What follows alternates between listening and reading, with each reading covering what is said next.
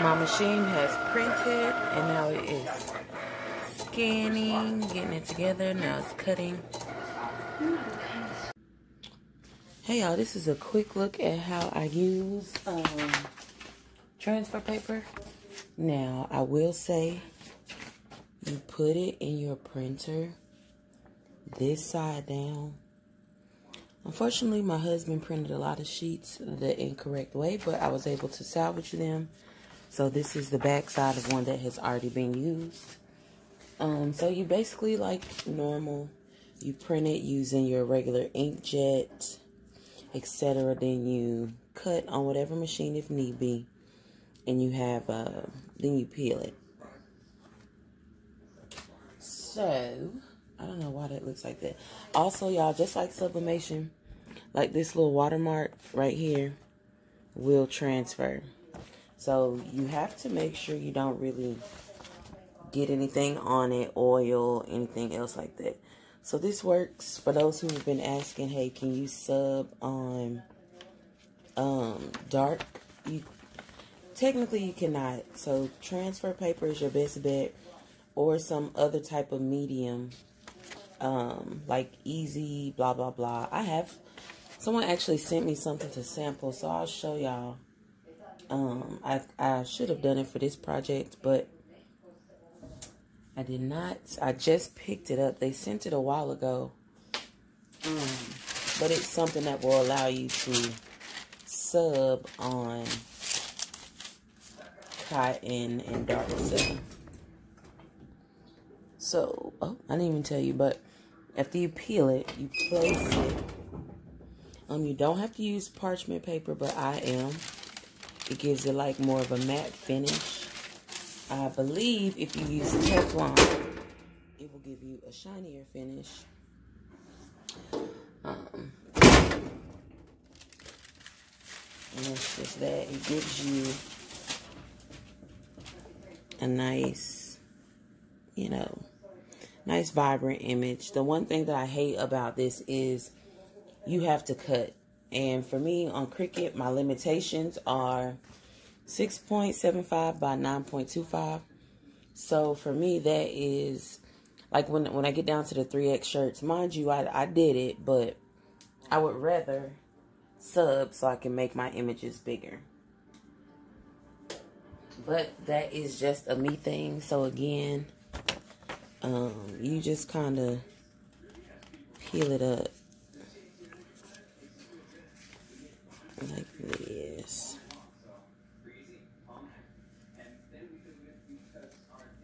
Yeah. Also, like if you pre-press, you don't want to leave this by because this paper starts to curl and do like it's heat activated, obviously. Um, another thing I was going to say is I printed some of these. Let's see if there are any that do not look vibrant. I printed some the day before, so the vibrant look kind of toned down. But I do want to say it all presses the same. oh, it all presses the same. This is an order for about 50 shirts. So it can be tedious when it comes to the cutting. If you have one machine, um,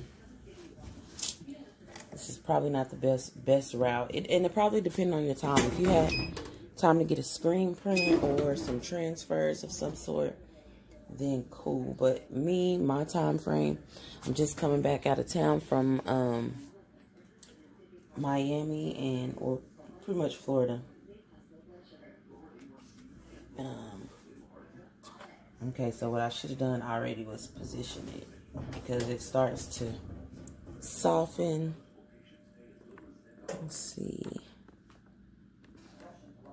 And curl up a little bit. Have it flat because also if this folds over, it will, you know, it will obviously stay. So we're going to see what happens with this water. Little watermark right here. You can see it here. Now, I think it'll still show up, but it's also a cartoon, so um, I don't think it'll take away from the image. You only have to press for like 10 seconds, And my press is normally much hotter. Like at 430, I have it on 370. Um, and that's pretty much what I just press my regular vinyl on to. Okay. So you can barely see. But it's there. It didn't quite look like the picture, but it is still there. Okay. So be mindful of that. I have my two and three X's. I've um so I'm just gonna do one more. And yes, y'all, I want to show you you can still use if you print it the wrong way, it does not mess up your paper. You can put it in the right way and print and get a successful um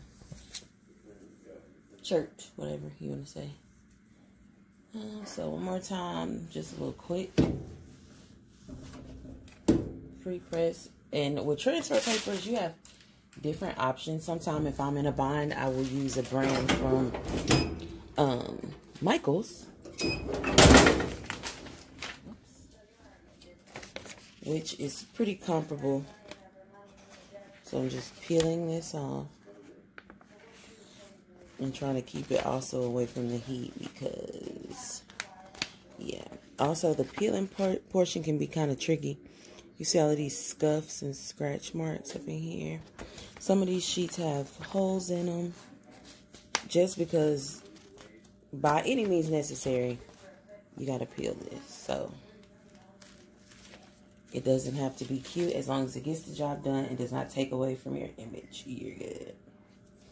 And you can see a little bit of the outline. That has everything to do with my annoyance um, with having to cut. I'm so used to sublimation that going back to this is just so beyond me. I try to work everybody into sublimation, but I understand some people want navy shirts. And looking at these shirts, they look cute on navy, but it would have been much faster for my life. It would have been more expensive, but it would not be, what is it, 4 o'clock in the morning? And me doing shirts. Now, granted, it looks great. It looks great. The color's there. But just like when you get this white. Mm-mm. Not okay. Not okay. All right, y'all. Just wanted to come pop in really quick. It's been a minute. I have been out of town.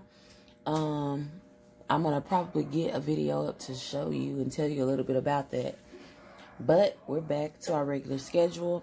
I had my first event back from vacation this weekend. And I will upload the footage if you're on TikTok or, yeah, Facebook, Instagram. I went live um, during that event. So you can check it out there super excited. You can see a couple details, some details from my trip also on TikTok. So, all right, y'all. Until next time.